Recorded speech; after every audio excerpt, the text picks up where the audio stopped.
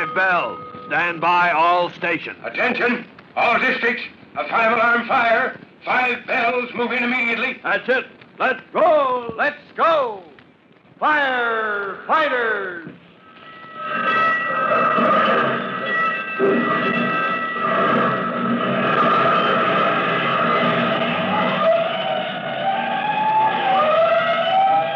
Presenting Firefighters, the true to life story of our unsung heroes who stand ready to ride by day or night against our most murderous enemy, the demon of fire.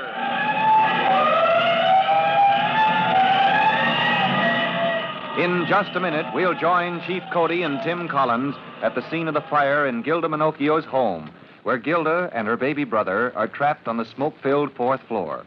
But before we report to the chief, here's something you should know.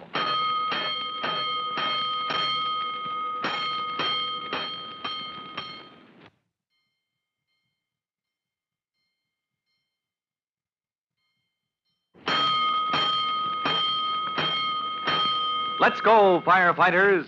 Let's go to the street outside Gilda's home. A tall, narrow building, one of a solid row of houses where fire has broken out in the second floor. At the first alarm, a ladder truck and three engines, including Tim Collins's company 209, roll to the scene. And as Chief Cody arrives, he finds Tim struggling with Gilda's mother on the front step. Collins!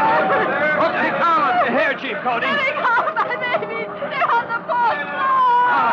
Can you get that woman out of the way? She's burned her hands. Chief Cody keeps trying to get back into the house to get up those stairs. Black baby, please, I've got to help Mrs. him. Minocchio, listen. We'll save Gilda and the baby. Uh, look, there goes the ladder to the fourth floor. Uh, men are going right up, ma'am. We'll save your youngsters. Hold her, Collins. Mrs. Minocchio, please, you've got to listen. You know me, Tim Collins. Look at me. Yes, yes, you're Tim Cody's brother. That's right. Now listen, I'll go up that ladder myself. I promise I'll bring your kids out if you'll just let us take care of you. Let first aid attend those burns. You promised, Tim, you promised you'd get them out. First aid. First aid this way. Uh, that's okay, Chief. You'll let me lend the hook and ladder boys a hand. Uh, go ahead, boy. Don't waste time. Get those kids out. Yes, sir. You'll have both your kids back inside five minutes, Miss Oh, he will. I know he'll save them. He will save them, won't he? Why, of course he will, ma'am. Now, here's the first aid man. Let him look after those burns. Well, Joe, get her across the street, will you? Yes, do whatever you say, Chief. I know you'll save my baby. All right, Joe, Chief. All right, 209. Get your line up those stairs. Drive that fire back into the second floor. Hey, hit that fire! 207. Go in the windows to the second floor. Second floor's all ablaze. Kennedy. Lieutenant Kennedy. Here, Chief. Tap in the second alarm. Second alarm. Okay, Chief Cody. 111. Ladder 111. Open up that roof. Let out that smoke and gas. Well, come on, come on. Don't fall asleep. Get out.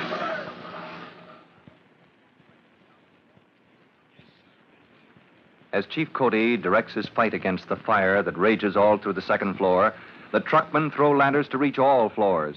Tim's own engine company drives the flames back from the stair shaft, while other men with hoses go through second story windows to meet the fire head on.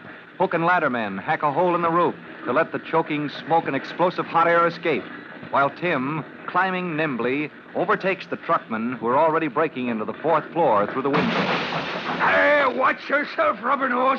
Let the smoke clear out so you won't be eating it all. There's enough for both of us, Murphy. Hey, Murphy, wait for me. Huh? Hey, it's Hooksy Collins, That it is. smoke cleared out, Murphy. Uh, come up and sniff for yourself, me boy. We're about to go in, me and Rubber Nose here. Ah, hiya, Oakley. What, what gives? Hello, Rubber Nose. Murphy, the chief sent me. I know the layout here. There's front room, a sort of playroom, then the bathroom and the girls' room. And beyond that, the baby's room. All right, then it's you that'll come with me, Hooksy. What about me, Murph? Uh, you follow us in, Rubber Nose, and ventilate. The windows? Yeah, open all you can get at, Rubber Nose. And then stand by here at the ladder. And if we're not back in good time, if the smoke should get us. Ah, watch a little smoke. It's the children inside that'll be consumed with the smoke. Well, then get out of my way, Murphy. Ah, age before beauty, me fire, fire laddie here. Come along. There we go. Now, down on all paws, Hooksy. Right. From here on, we crawl. I'll sing out so you won't get lost. All right. Oh, black as Egypt it is. Uh, what have we here? A fine big closet, No, no, no. Tile floor, the bathroom, it? Murphy. All right, no time for a shower here, Hooksy. Come along at my heels. Next is the girls' room. Yeah, with the door shut tight. Collins! Murphy! Hurry it up! Ah, good boy, Rubber Nose, to the grand pair of lungs. Yeah. Now, the question is, does the girl's door keep the smoke out or keep it in? Crack the door open. Yeah. Easy as easy. Oh, smoke, thicker than water. Yeah. They'll be smothered, the two of them. Move along, Murphy. Go straight on through. Get to the baby's room. I'll find the girl. Murphy! Murphy! This way! Collins! Keep coming this way! All right, boys. Keep coming. I'll come after you. Stay, stay where you are. Got you, Murphy. Here. Where's Collins? He's coming. Hooksy got the girl. I'll drag you to the window. Easy. Easy now. Now, the little one here. Huh? Uh, little one, the baby? Are you nuts, Murphy? Ah, let, let me breathe. Murphy, boy. the baby. Where? Let me now. He's under me coat, the little fella. Why, you're smothering. Go help Collins, Rubber Nose. He's dragging the girl here. But the baby, he can't breathe. He's snug enough beneath my coat. And how would he be if the fresh air was to strike his lungs and him full of smoke? Ah, sure, sure, Murphy. Air, he couldn't take it. Robert, Robert, Yeah. give me a hand here. I'd be killed dead by the air. You go and help Hooksy, will you? Yeah, come in, Hooksy. Tell him to cover the girl's face. No fresh air till it's safe for her to breathe it. Saved from the deadly smoke that fills the burning building, Gilda and her baby brother are given first aid and sent off to the hospital for special care. Chief Cody fights the fire to a finish. And hours later, after the engine companies have picked up their lines and rolled back to quarters, and the truckmen have completed their overhaul of the wreckage, Chief Cody sends a special message to certain of his men. Hey, Rubber Nose. Uh, what gives, Murphy? Could I trouble you for the loan of your brass polish? After your own buttons are all shined up, that is to say? Buttons. Who's going to shine buttons? Well, now, it seems like you and me and Hooksy Collins over the 209, it seems like we'll be shining brass all the blessed day instead of catching a bit of shut eye. That's for I chat with Chief Cody, you understand. Huh? Chat with Chief Cody. That's right. What are you getting at, Murphy? Oh, ah, no, didn't I tell you now? Oh, ah, well, here's the notice, Rubber Nose. Here. What? Let me see that. Special from the chief, it is. You and me and Hooksy, you see it says right there, Yeah. we're to report without fail tomorrow night before logging in at company quarters. You see what it says? Yeah. Well, how do you like that? And what for? What did we do wrong? Ah, who knows? Except only the chief. And Hooksy. Nobody's got a cleaner record than Hooksy. Oh, now, what's, what, what good is it to worry now? Now, sure, the chief is a kindly man. What more can he do but eat the heads off Yeah, of us? but if we only knew what we did wrong to get called up on the carpet. Now I'll get no sleep worrying about it.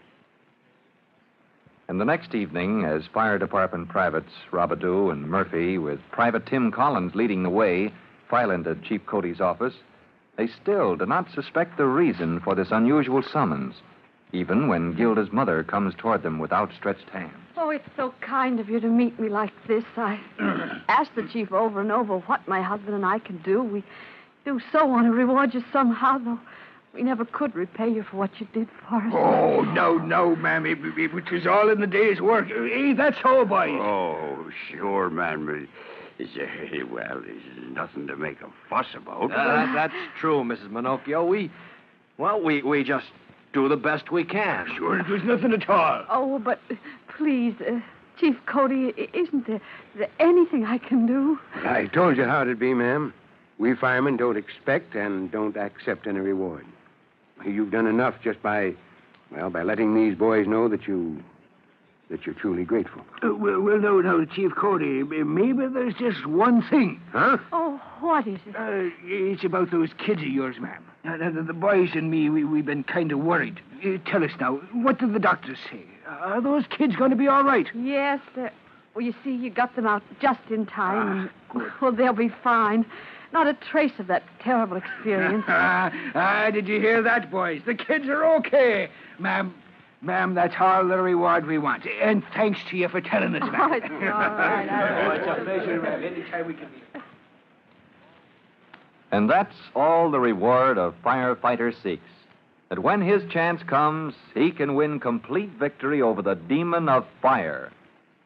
But after the fire at Gilda's house, Chief Cody has a bone to pick with Trudy Collins, Tim's young sister.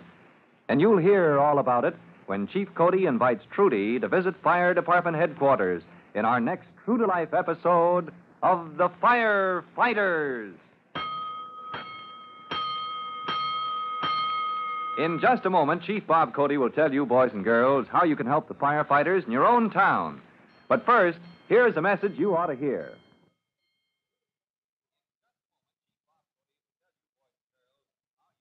And now, Chief Bob Cody with a special notice for the Firefighters Brigade. Chief Cody. Hello, boys and girls. This is your friend, Chief Cody, with a question to ask. How long is it since you inspected for rubbish? Old papers and odds and ends that pile up in a home unless you keep disposing of them. Well, my hunch is that it's time you had a checkup. Look for piles of paper and other rubbish that could feed a dangerous fire. Now clean up that hazard. And by doing so, do your share to protect lives and property. Well, that's all for now. You'll be hearing from me soon. Fire Chief Cody and the young rookie fireman Tim Collins will be back on the same station the next time you hear. That's it. Let's go.